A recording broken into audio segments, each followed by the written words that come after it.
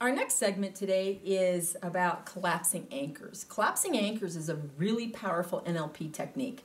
It allows us to take um, a negative trigger, something, you know, we all have buttons. We talk about that in NLP, where somebody can just grade across that button and it gets you a response that's automatic. It's like a body programmed response. And um, it's nice to be able to erase those so that you take control of your own neurology. So we're going to do an exercise called collapsing anchors. Okay. All right, so what I'm going to do with this is we're going to use uh, Carol's hand for this, and I'm going to use the first two knuckles. So if you recall, uh, a little earlier on another segment, we did um, a positive anchor. So I'm just going to touch that right now, Mm-hmm. and that's still pretty positive. That's very so we're going to go ahead and build because we've not erased this trigger. Now be aware that when we collapse anchors, this anchor will actually disappear. If I wanted to um, stack this so it's always a happy button, I would not want to use it for collapsing anchors. But for this exercise today, since we've already got one there, we're going to add three more positive responses, things that really make you feel in your best state. Okay. What we're going to do is we're going to also pick something that you'd like to have erased from your life, something that you want to have a different response to. And we're going to anchor that to the second knuckle just one time. Okay. And then what we're going to do is I'm going to fire both of those off at once.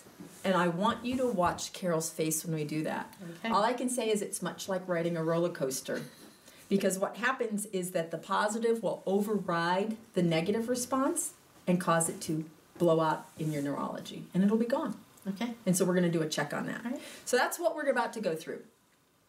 So what I'd like for you to do right now is um, give me three states that are very positive for you, because I'm going to have you recall them, and these need to be moments that you Okay. can actually very clearly see. Because I'm going to ask you to be there physically, to visually see what you saw, hear what you heard, feel what you felt.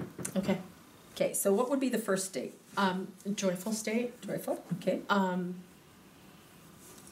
uh, Second state. Um, excited. Excited. Okay. Okay.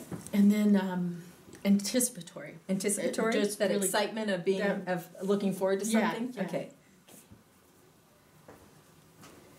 And I know from talking earlier, these are really good ones because I think the anchor you'd like to collapse is the feeling of being unmotivated. Is that correct? Yes. Yes. And you can clearly pull what that feels like. Yes. See a moment when you weren't. Okay. Mhm. All right. So let's go ahead and do your positive anchors first. So what I'd like for you to do is to imagine a point of time, a particular um, instance when you felt very joyful. Okay. Okay. And I want you to see what you saw, feel what you felt, hear what you heard, and just be fully present there. Okay. So if you notice, I kept my finger in place as she went into that moment, and about the time I saw her shift, I released the anchor. Now, what I'd like for you to do is to imagine a time when you felt very excited. You were Uh, really I'm- I'm- enjoying that moment. okay. Okay, you got the excited? See what you saw, feel what you Mhm. felt, Mhm. hear what you heard, fully experience that moment. Okay. Okay. All right. And the last one was anticipatory. So, an event that you were so fired up for, you were anticipating so highly. Can you grab that? All right. Feel that moment, see Mhm. what you saw, Mhm. hear what you heard. Okay, very nice. Okay, so let's just check this. Now, I want you to go ahead. Do you smell popcorn? No. Uh, do you- okay, great. Well, this is good. Again, that's just the break state. Let's go ahead and fire this off and see what we notice. So just keep an eye on Carol's face and watch her body. Nice. Okay, very good. Now, uh, smell popcorn again? No popcorn. No popcorn. Darn, I'm gonna have to come up with a new one. All right. So what I want you to do now is we're going to use the second knuckle and we're going to do the uh, an event, something that fairly, you know, that is a common enough trigger that you'd like to have it released. Okay. And we had shared that it was feeling unmotivated. Yes. So you can access that time at least once. Okay. Yes. So I want you to drop into that state. See what you saw, feel what you felt, hear, smell, any of the sensory pieces.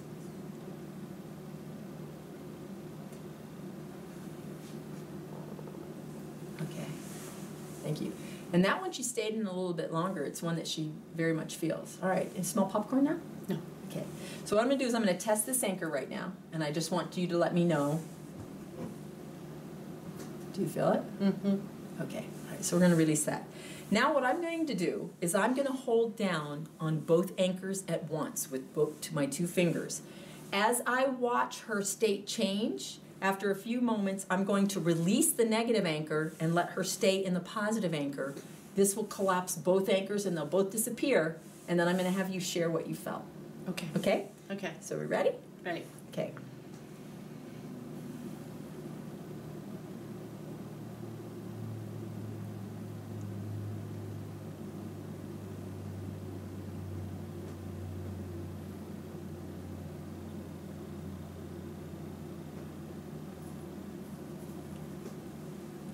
Okay.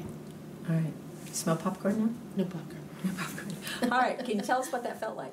Um, it felt as if I was I was um, my stomach like on a roller coaster where I was going up really high and then down really low. My stomach came up really high, and then I had to breathe in and settle it down because I thought I was gonna upchuck.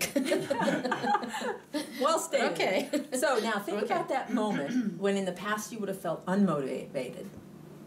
How do you feel instead? I feel as if it's not an issue. It it I can manage to ov- overcome it. Okay. Yeah. All right. Thanks. That's collapsing anchors.